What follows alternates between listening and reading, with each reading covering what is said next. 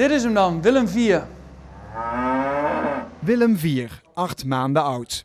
Hoe die wordt genoemd zal hem zelf worst zijn. Maar zijn baas bedacht zich gisteren geen moment. Nou, naar aanleiding van gisteravond, dat, uh, met interview van koning Willem-Alexander en uh, prinses uh, Maxima. Willem 4 ja, staat naast Bertha 38 in de wei. Het leek me een mooi idee om dit stiertje Willem 4 te noemen. Hij is nu nog wat camera-schuw, maar net als de prins wel bijna klaar voor het echte werk. Willem Sier is, uh, uh, moet even de kat uit de boom kijken. Uh, zal nog een beetje moeten wennen. Straks ook met de troonswisseling zal Willem ook wel zelf moeten wennen, denk ik.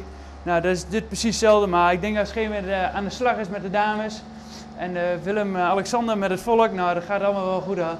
Ja, hij is goed met dames, denk je? Ja, ja dat denk ik wel. Elk siertje is wel goed met de dames. Dus, ja, en die dames aan de overkant kunnen niet wachten om eens aan Willem IV te ruiken. Maar ze moeten nog even geduld hebben. Willem IV is op het moment nog maar acht maanden en die, uh, die is nog niet helemaal dekrijp. En de koeien zijn nog iets te groot voor Willem IV.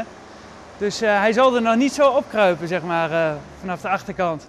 Dus nou, over vier maandjes, vijf maandjes, dan kan Willem IV wel aan de slag. Maar liefst 30 dames staan op hem te wachten. Een Bertha 38 zit er nog niet tussen. Misschien dat een van de nakomelingen die naam krijgt. Straks hebben we nakomelingen lopen van, koning, van Willem IV eigenlijk. Dus uh, nee, daar straks heb ik er heel veel mee. Dan heb ik ze hier aan de melk en dan, uh, ja, dan denk je er elke keer aan. Hallo Willem IV.